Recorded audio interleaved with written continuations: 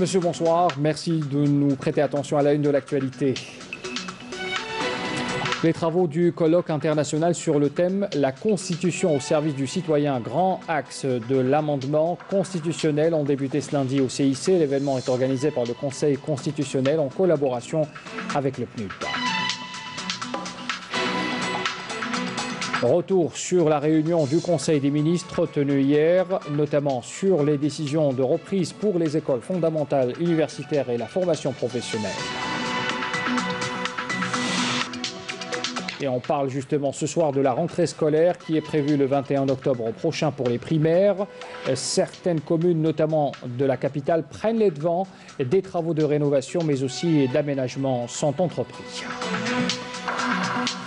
Autre événement de ce lundi, les travaux du séminaire national sur le rôle de la société civile dans la lutte contre la corruption organisé par l'organe national de prévention et de lutte contre la corruption en collaboration avec le programme des Nations Unies pour le développement, le PNUD, ont débuté également ce lundi au CIC. Voilà pour les principaux titres de l'actualité. Bienvenue à tous. Euh, comme je l'annonçais en titre, les travaux du colloque international sur le thème La Constitution au service du citoyen, grands axes de l'amendement constitutionnel. ces travaux ont débuté ce lundi au Centre international des conférences Abdelatif Rahal, organisé par le Conseil constitutionnel en collaboration avec le programme des Nations Unies pour le développement sous le haut patronage du président de la République, Abdelmejid Tebboune. C'est un colloque qui a vu aussi la présence du président de l'Assemblée populaire nationale, Slimane Chenin, de membres du gouvernement et du conseiller auprès du président de la République chargé des affaires juridiques et judiciaires, Boualem, Boualem ainsi que des responsables d'institutions et d'organes nationaux. Nakhla pour le compte lu en son nom par Boualem Boualem, conseiller du président de la République, le chef de l'État a affirmé que le projet d'amendement de la Constitution est conforme aux exigences de l'édification d'un État moderne et répond aux revendications du Hirak populaire béni. Pour rappel, dans son discours d'investiture, Abdelmajid Tebboune s'était engagé à opérer une réforme profonde de la Constitution régissant les rapports société-État et les relations interinstitutionnelles. Lors de cette rencontre de deux jours organisée par le Conseil constitutionnel en collaboration avec le PNUD, il est justement question d'identifier les nouveaux mécanismes introduits afin de mettre la nouvelle Constitution au service du citoyen. Ce colloque réunit les professionnels du droit, les experts et les fonctionnaires du Conseil constitutionnel. Cette rencontre intervient alors que l'Algérie s'apprête à organiser le référendum du 1er novembre sur la révision de la Constitution qui constitue une étape importante dans l'histoire de notre pays dans l'optique de l'édification d'une nouvelle République un projet de société ambitieux que le président de la République s'est engagé à réaliser durant sa campagne électorale et qui est en passe de se concrétiser, sachant que le président de la République a adopté la voie de la démocratie en redonnant la parole au peuple dans cette réforme constitutionnelle. Les experts en présence ont abordé les volets liés au renforcement des droits et libertés dans le cadre du projet de la révision constitutionnelle, l'indépendance du pouvoir judiciaire et la moralisation de la vie publique. L'organisation de cette rencontre intervient au bon moment dans la mesure où le rôle du Conseil constitutionnel est d'instaurer la culture constitutionnelle. Ce colloque aborde des volets importants comme les droits et les libertés fondamentales, les institutions de contrôle et les organes consultatifs et le principe de séparation des pouvoirs et la lutte contre la corruption. Plus de 2000 propositions et observations pour rappel étaient formulées par des institutions publiques et les acteurs de la société civile à propos du projet de réforme constitutionnelle Sonnel. L'émission Question d'actu consacre justement un numéro de ce soir à la séparation des pouvoirs dans le projet de la révision de la Constitution. Vous pourrez suivre euh, cette émission ce soir juste après le journal de 20h sur notre chaîne.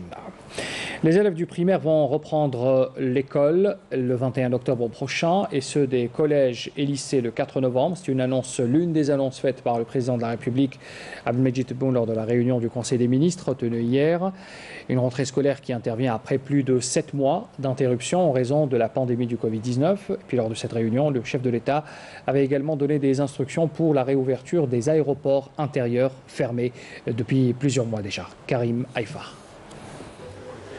Une rentrée scolaire tant attendue et qui trouvera son épilogue fin octobre. Pour le cycle primaire, la date de la rentrée a été fixée au 21 octobre à travers l'ensemble du territoire national et au 4 novembre pour les cycles moyens et secondaires en prenant en ligne de compte la garantie du transport scolaire et l'ouverture des cantines scolaires. Et ce, après consultation des partenaires sociaux et des associations de parents d'élèves. Le comité scientifique ayant dans ce cadre toutes les prérogatives pour examiner et revoir la situation concernant la rentrée scolaire. Par ailleurs, la date du 15 novembre a été retenue pour la rentrée dans le secteur de la formation professionnelle et la date du 22 novembre 2020 pour la rentrée universitaire en prenant en considération les impératifs liés à la réorganisation des cités universitaires et éviter la surcharge notamment au niveau des amphithéâtres et ce, au vu de la situation sanitaire due à la propagation de la Covid-19. S'agissant des mesures liées à la rentrée scolaire, le Conseil des ministres a mis l'accent sur le strict respect des conditions d'hygiène conformément au protocole sanitaire en prenant en compte la santé de l'élève étant au centre de tout intérêt et de toutes les priorités.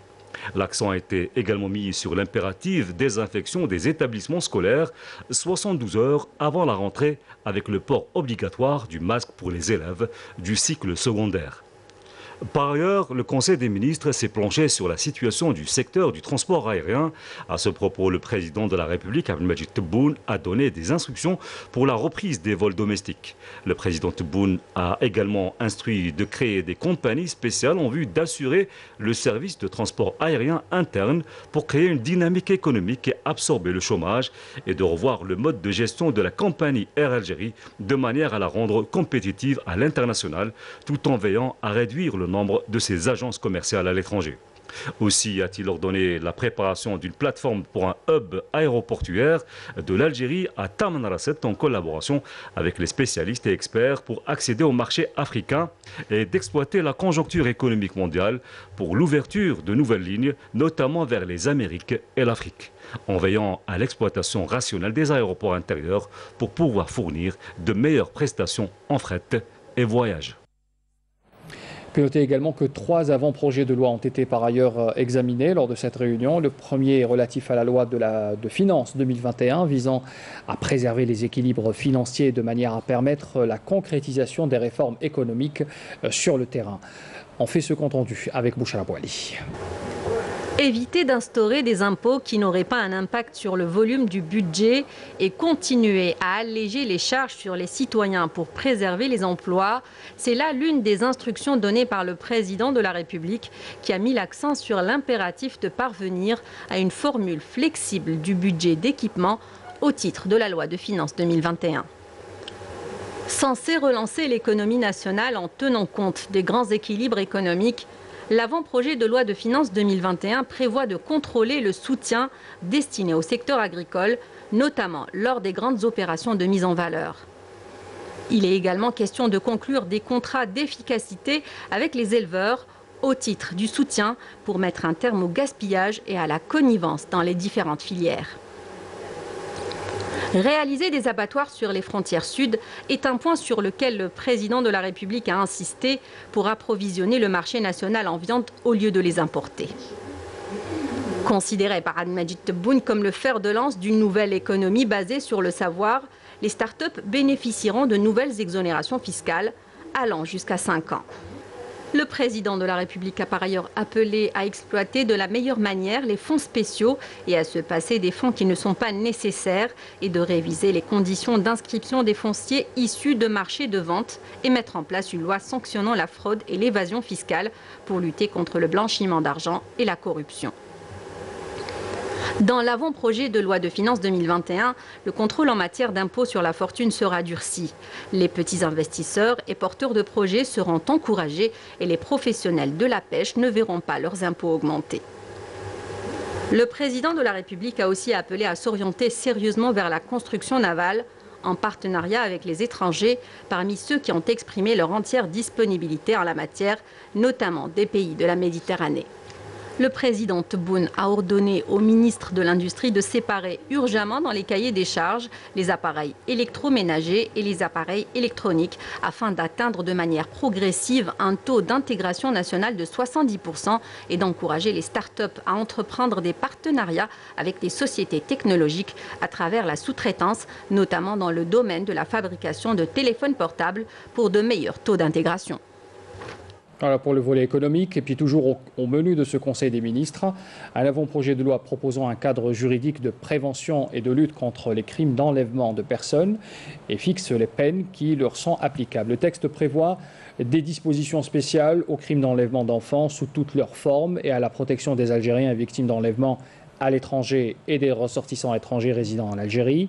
À ce propos, le président de la République avait ordonné aussi que soient imposées les peines maximales sans possible allègement ou grâce, quels que soient les tenants et aboutissant à l'acte, plutôt de l'acte de l'enlèvement. Dans l'actualité aussi, le Premier ministre Abdelaziz Jarrad effectue en ce moment, en tant que représentant du président de la République Abdelmajid Tebboune, une visite de l'État du Koweït à la tête d'une délégation ministérielle pour présenter les condoléances au nom du gouvernement et du peuple algérien suite au décès de l'émir du Koweït, Sheikh Soubah Al-Ahmed Al-Jaber Soubah.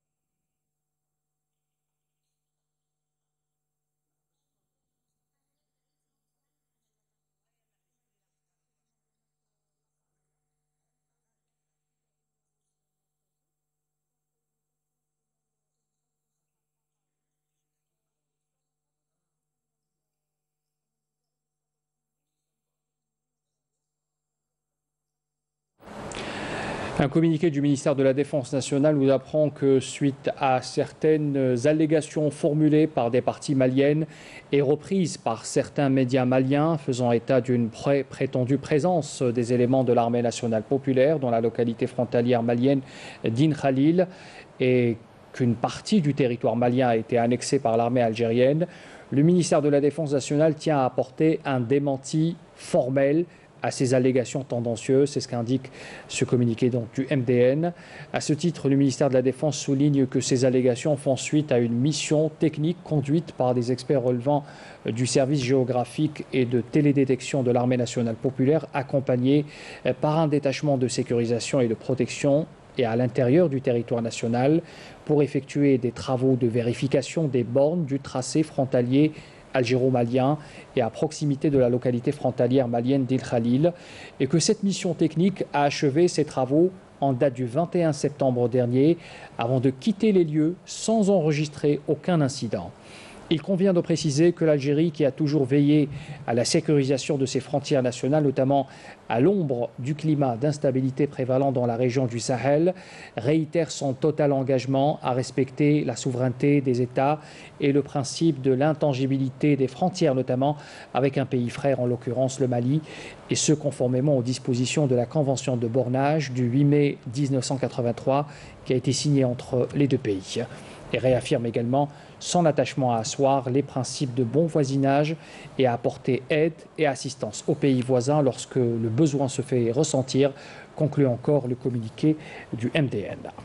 Un autre communiqué du ministère de la Défense nous apprend également que dans l'objectif de prendre en charge l'ensemble des préoccupations médico-sociales des différentes franges et catégories des retraités de l'armée nationale populaire, en l'occurrence les blessés, les invalides et les radiés des rangs de l'ANP pour diverses raisons.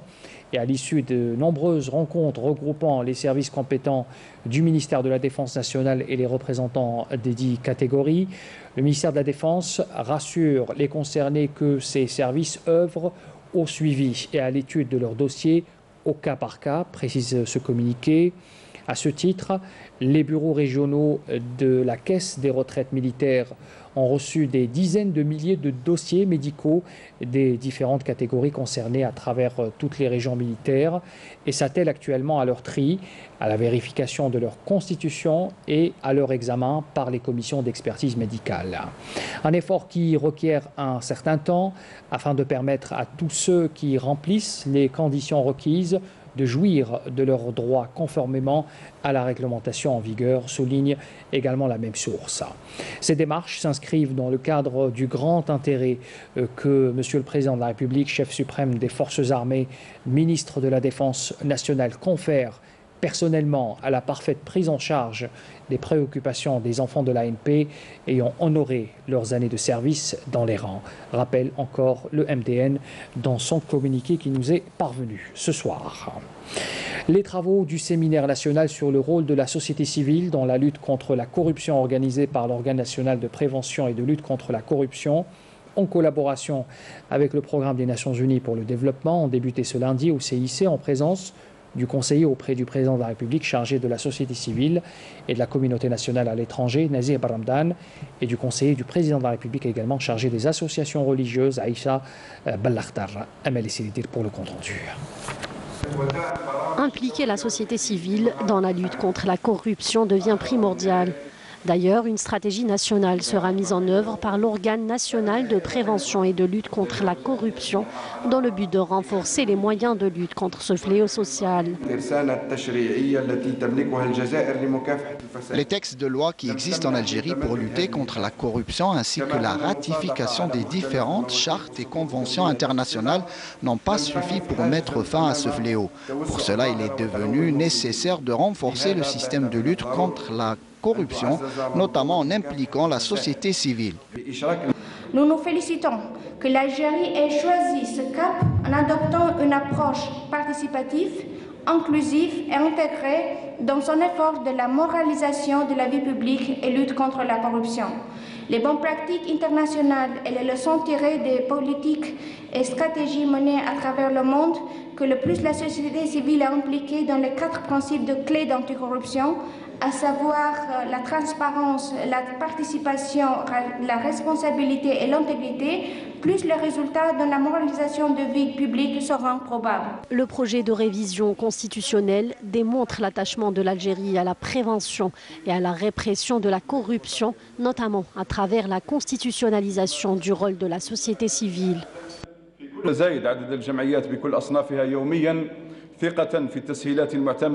Le nombre d'associations ne cesse d'augmenter, grâce notamment aux facilitations accordées ces derniers temps, ainsi qu'à la place qu'occupe la société civile dans le projet de révision de la Constitution. D'abord, dans son introduction, on trouve l'implication de la société civile dans la communauté algérienne établie à l'étranger dans la gérance des affaires publiques, en plus de six autres articles qui constitutionnalisent le rôle de la société civile et lui donnent sa juste place, ainsi que la création de l'Observatoire national de la société civile à la demande des différentes associations. D'ailleurs, c'est ce qui explique aujourd'hui l'appui de la société civile du projet de la révision de la Constitution. Nous comptons sur une société civile active dans la nouvelle Algérie, une société civile qui participe au développement de notre pays. Cette rencontre a permis de lancer le projet de création du réseau national pour l'intégrité chargé de la sensibilisation au risque de la corruption dans la société et le signalement de toute infraction ou dépassement. Le ministre des Affaires étrangères, Sabri Bouradoum, a pris part par visioconférence à une conférence ministérielle sur la Libye à l'initiative de l'Allemagne et des Nations Unies.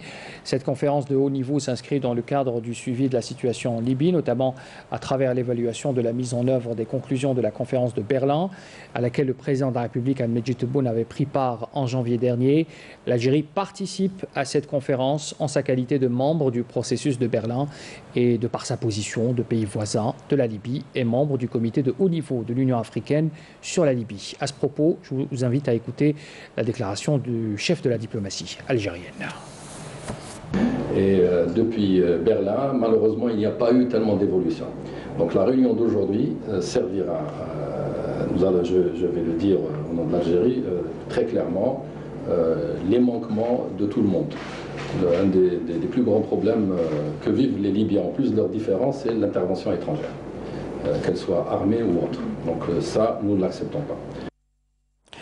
Le ministre des Affaires étrangères, Sabri Boukadoum, avait réaffirmé aussi, lors de sa participation aux travaux de la réunion de haut niveau de l'Assemblée générale de l'ONU à l'occasion de la célébration de la Journée internationale pour l'élimination totale des armes nucléaires, il a souligné la détermination de l'Algérie à ratifier le traité sur l'interdiction des armes nucléaires dans les plus brefs délais. Je vous invite à écouter sa déclaration. Algeria continues to suffer from the catastrophic consequences on humans and on the environment L'Algérie a toujours souffert et continue de souffrir des conséquences catastrophiques des armes nucléaires sur l'homme et sur l'environnement, après les explosions nucléaires exécutées sur son sol pendant la période coloniale. De ce fait, l'Algérie a été parmi les premiers pays à avoir signé le traité sur l'interdiction des armes nucléaires, un traité adopté sous l'égide de l'Algérie qui présidait la première commission de l'Assemblée générale des Nations unies en 2017. À cette occasion, je réaffirme la détermination de l'Algérie à ratifier ce traité très prochainement. L'Algérie qui attache aussi une importance particulière à la problématique de la protection physique des installations nucléaires et la sécurité des sources radioactives. C'est ce qu'indique le ministre de l'Énergie Abdelmajid Attar lors de son discours d'ouverture des travaux de la journée d'information sur la protection physique des installations nucléaires et la sécurité des sources radioactives organisée par le commissariat à l'énergie atomique, le COMENA. Le bilan Covid du jour, 134 nouveaux cas confirmés de coronavirus, 94 guérisons et 8 décès ont été enregistrés ces dernières 24 heures. On écoute à ce propos la déclaration du porte-parole du comité scientifique de suivi de l'évolution de la pandémie, le docteur Jamel Fourar. Aujourd'hui, le lundi 5 octobre 2020, nous allons vous donner un point de situation complet sur l'évolution de la Covid-19 en Algérie depuis le début de la pandémie à ce jour.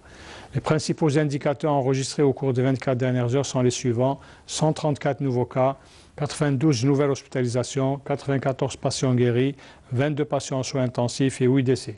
Avec la notification de 134 nouveaux cas, l'incidence au cours des 24 dernières heures est de moins de 1 cas pour 100 000 habitants, sachant que 22 wilayas n'ont pas déclaré de cas durant les 24 dernières heures, 22 wilayas ont déclaré entre 1 et 9 cas, et seulement 4 wilayas ont déclaré 10 cas et plus.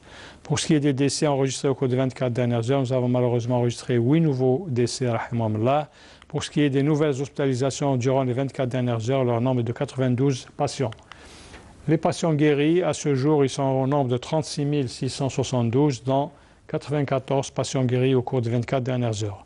Pour ce qui est des soins intensifs, nous avons actuellement au niveau de nos hôpitaux, au niveau national, 22 patients hospitalisés en soins intensifs. Et pour terminer, nous demandons toujours à notre population de rester très vigilante durant cette période, de respecter totalement et scrupuleusement les règles de prévention, notamment l'hygiène des mains, la distanciation sociale et surtout, surtout le port de masque obligatoire en tout lieu et en toutes circonstances.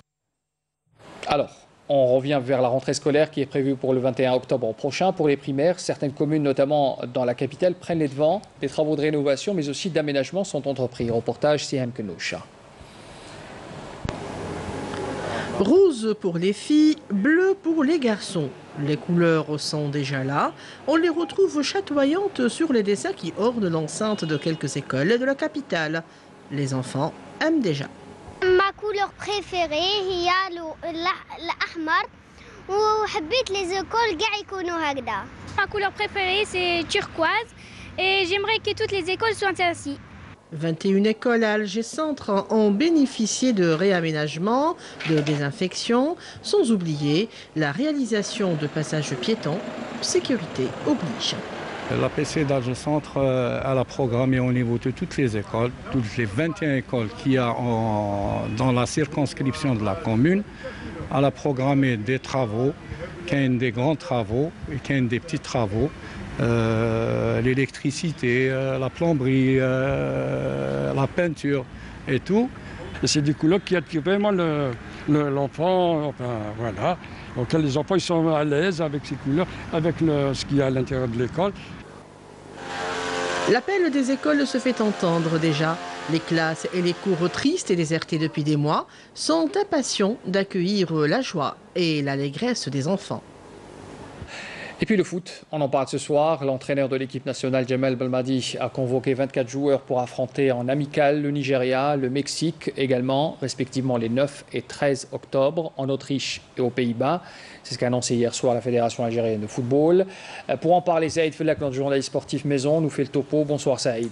Bonsoir Sorel, bonsoir à nos amis téléspectateurs. Alors, comme on vient de le dire, le coach national avait, a fait confiance à une liste de joueurs évoluant exclusivement en Europe, vu la léthargie qui a touché la Ligue de football professionnel ici, en Algérie. Finalement, pas tout à fait, euh, pas des joueurs uniquement en, Europe, puisque au dernier moment, l'info vient de tomber. Le sélectionneur national vient d'appeler en renfort le gardien du CRB Louisdad, Gaia Merbah, qui pourrait et qui devrait en principe rallier l'Autriche dès demain.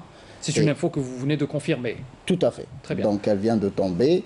Et pour ce qui est de, du coup dans, de, la liste des 24 joueurs convoqués, elle a été donc dévoilée hier par le sélectionneur national en prévision de ces deux matchs amicaux face au Nigeria et le Mexique.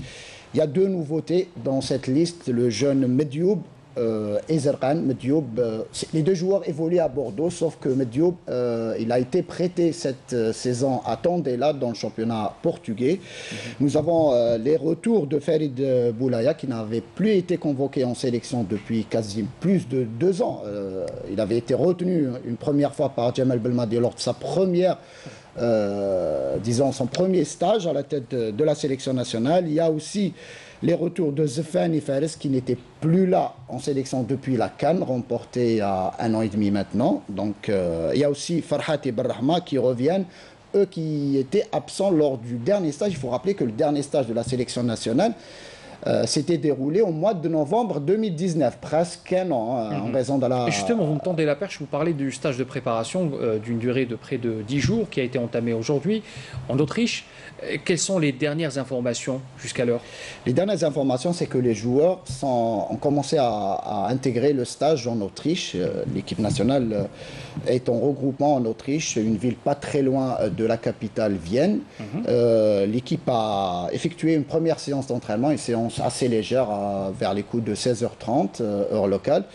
Et euh, les infos que nous venons d'avoir, c'est que pour l'instant, euh, un joueur comme Ismaël Ben Nasser fait, devrait intégrer l'équipe demain ou après-demain puisqu'il vient d'avoir un, bébé. Donc ah félicitations hein. à lui. On le félicite. Ouais. prompt rétablissement à sa, à sa femme. et nous avons aussi Barrahma et Spano qui devraient rejoindre le regroupement ce soir. Mais il y a un petit souci euh, d'ordre administratif puisque Bounjah et Doha, qui évoluent euh, respectivement au Qatar et en Arabie Saoudite, n'ont pas pu pour l'instant, euh, disons, entrer sur le territoire autrichien en raison d'un problème de visa. Problème de visa. On rappellera que le prochain match face au Nigeria se jouera dans ce pays le 9 octobre. Exactement. Et il y aura le deuxième match amical face au Mexique euh, mardi 13 octobre. Le 13 octobre et ça sera au Mexique dans un. Ça sera aux Pays-Bas. Ça sera aux Pays-Bas. Ah, pardon, aux Pays-Bas, exactement. Voilà, face au Mexique. Face au Mexique. Alors, une dernière question, Saïd Fella, qu'on profite de votre présence ici. Quels sont les buts recherchés par Jamel Belmadi On imagine avec cette convocation de ces 24 joueurs, de cette sélection particulière. Euh, ces deux matchs amicaux, qu'est-ce qu'on attend? On attend des résultats, on attend une remise en forme? Pas forcément des résultats puisqu'il s'agit de, matchs amicaux. De matchs amicaux. il, y aura, il y aura évidemment, le groupe sera Peut-être qu'une victoire redonnerait un peu le moral, redonnerait un peu du peps. Le moral est au beau fixe pour la sélection nationale, puisque justement l'objectif recherché sera de ne pas perdre, puisque l'équipe nationale reste sur deux ans sans perdre le moindre match. La dernière défaite de l'équipe nationale remonte à octobre 2018. C'était à Cotonou face au Bénin. Si vous me permettez, Saïd, euh, bien sûr que les matchs amicaux comptent notamment même le classement, FIFA. Évidemment. Donc ça sera évidemment quand on arrive à battre une équipe comme le Mexique, on gagnera énormément de points. Et ça, c'est important pour, euh, euh, pour ce qui est des tirages au sort à venir en ce qui concerne la, Coupe du Monde et, autres. Mais sinon, le sélectionneur national euh, va opérer certainement des changements lors des deux matchs. Donc, Un réajustement peut-être? Notamment. Donc il y aura une équipe qui jouera le premier match face au Nigeria et une deuxième équipe, sans doute l'équipe type qui évoluera face au Mexique et on attendra ça avec beaucoup d'attention avec vous, Saïd Fellek. Merci pour Les deux matchs seront retransmis en direct sur la chaîne terrestre. C'est important de le souligner. Merci Saïd Fellek, vous étiez en direct avec nous. Euh, c'est la fin de ce journal, le rappel des titres avant de clore cette édition. Les travaux du colloque international sur le thème La Constitution au service du citoyen, grands axes de l'amendement constitutionnel ont débuté ce lundi au CIC. L'événement est organisé par le Conseil constitutionnel en collaboration avec le PNUD.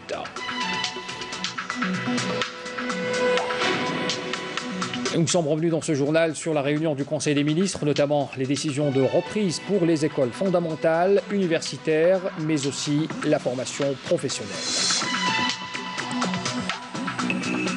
La rentrée scolaire est prévue le 21 octobre prochain pour les écoles primaires. Certaines communes, notamment dans la capitale, prennent les devants avec des travaux de rénovation mais aussi d'aménagement qui sont entrepris. Et puis dans l'actualité aussi, les travaux du séminaire national sur le rôle de la société civile dans la lutte contre la corruption organisée par l'organe national de prévention contre la, corruption en collaboration avec le PNUD. Ces travaux ont débuté également ce lundi à Alger, au CIC. Fin de ce journal, merci de l'avoir suivi. Les adresses pour les replays et l'info continue s'affichent au bas de votre écran. Très bonne soirée à tous, à demain.